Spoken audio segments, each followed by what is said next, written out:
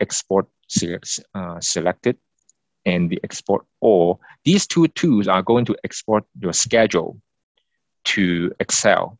The typical way is to ex- export that to something like a CSV file and then convert that CSV file into Excel.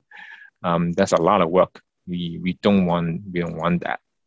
So to do this, very simple. We'll just click on that export selected. This will come up. And now you can select what schedules you want to export to Excel.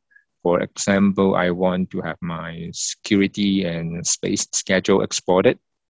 Just click OK. A file will be dumped on your desktop, time stamped. So it's done. So if I check my desktop right now,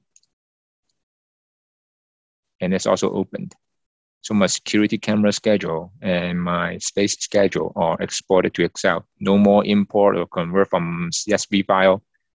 You don't have to do it. And you can select uh, which schedule you, you want to export.